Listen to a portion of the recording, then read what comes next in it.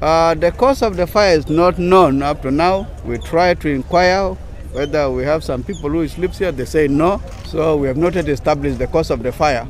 But they said it started in the morning and they just they were awakened by the fire in the tent shops. The uh, people of the fire brigades came, but they tried. As you can see up to now, they are struggling with the fire. But we want to also thank our people of the, the water tankers. These people are very kind. They always rush to the rescue of the people. In according to the reports here, they say they are the one who actually started quenching the fire.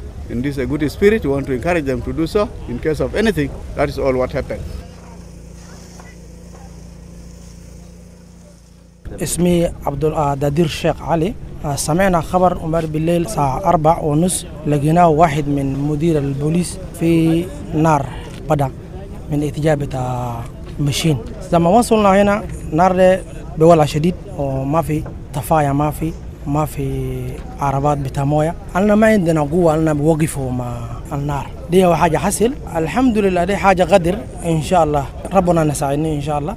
دي هو كلام الحصل عصام رابح يعقوب. تاجر وصاحب المحلات دي هنا. يعني إحنا جانا بس تليفونات الساعة 4 إلا 10 دقيقة. قالوا النار قام في المخازن هنا. والنار ابتدى من محل بتاعت المكانات ده هنا. فيهو قمنا جارين جايين جينا.